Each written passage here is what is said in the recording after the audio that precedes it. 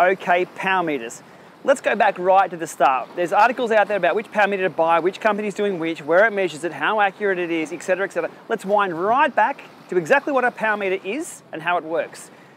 The majority of the power meters out there use strain gauges. So on a scale of Sydney Harbour Bridge, put a current through a wire either side, I can't even reach to the other side, and as soon as that wire changes, bends, deflects, or strains, that current will change, and there you go. It measures the difference between the two. SRMs will have either four of those or eight of those, not Sydney Harbour bridges, but strain gauges. And inside every strain gauge based power meter, that's pretty much what you have. Strain gauges themselves, cheap, light, and pretty reliable inside. Take them outside into vibration, rain, and the biggest one is temperature change. On a bike, you'd be looking at probably anywhere between 50 degrees operating temperature difference between maybe negative 10 if you're in the northern hemisphere riding in the snow, and up to 50 degrees if you're in Qatar or somewhere like that where the World Championships will be held this year. There's a big variance of, of temperature change that has a big impact. Also, the facing.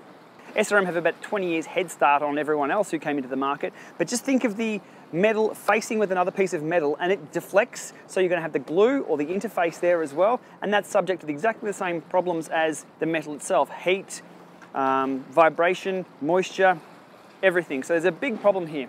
At the, at the raw level, it measures the strain, which gives you a torque value, and then that applied to your RPMs will give you your power in watts. Watts. Now, here's where the controversy starts. The constant is measuring in watts, power. That's a known value that's measurable and it should be consistent across any power meter that you have, no matter where it actually measures it. In the spider, in the pedals, system further down, that measurement across those strain gauges should give you your output. If you're doing 100 watts, 150 watts, 200 watts with an SRM, you should be doing exactly the same with a Quarq, exactly the same with the stages, exactly the same on a Kickr or a Kurt Kinetic new smart trainer. They should all measure the same. Reality is, it's not the case. The common saying is that a rider with one power meter knows their power, a rider with two power meters is never sure. A bit of a joke, but that's come to be, I guess, accepted. The big problem is now in the industry is the companies who are now players in the market of power meters now, I'm not just including SRM and Quarq and PowerTap in that, Wahoo around the power meter industry, Elite, Tacx, all those guys are power meter manufacturers. They have to be accurate and they have to be accurate across all systems. Now you think this is actually quite easy to do. Why? Because they all measure power in wattages, that constant. So you'd think. They all face different challenges depending on where they measure power as well. What we're finding on the forums and online is people saying, hey, look, my stages reads higher than my Kickr, my Quarq reads lower than my Neo, and things like that. These companies are struggling with how to actually deal with that because in the past, You've had one power meter, there's your numbers. But now you've got two, how do you know which one's right and which one's wrong? Big, big challenges faced. Look, a bit of the feedback we've got from a couple of the companies. Somebody sent me some feedback about the inquiries they've put in before buying a power meter. One company first said, look, there's no standard of measurement yet in the industry. That's from a power meter company who does measure in watts. I'm not sure what's going on there with that person on the help desk. Another one was, and this is from a big player as well, they mentioned that depending on your bike fit, that may impact the accuracy of their power meter. That's complete bullshit.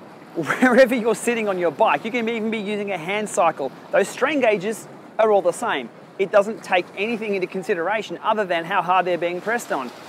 So I think they may have been confused with you know, how much power you can put out in a time trial position versus how much power you can put out on a road bike.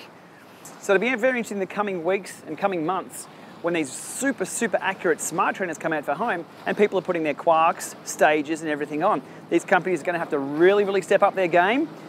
Okay, a few things to check if you think your power meter is out. First of all, number one, update the firmware on your power meter. Always update to the latest version. If, if you're hesitant to go to the latest version, don't be. Go to the latest version. If it doesn't work, keep your manufacturer honest. Tell them why it doesn't work. Tell them why they need to fix it.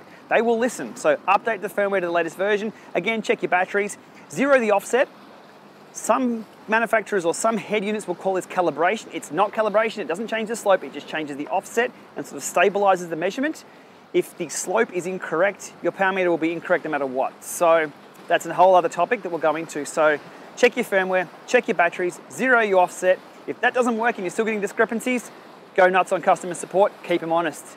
So in summary, power meters, simple devices, bit like the Sydney Harbour Bridge, but they're super hard to get right, super hard to get accurate, but there's no excuses if they're not. Keep your manufacturer honest. We'll do some more videos on this about calibration and all that later on. Let me know what power meter that you own. Have you had any issues with it? And uh, what are you looking for in the future? All right, thanks for watching.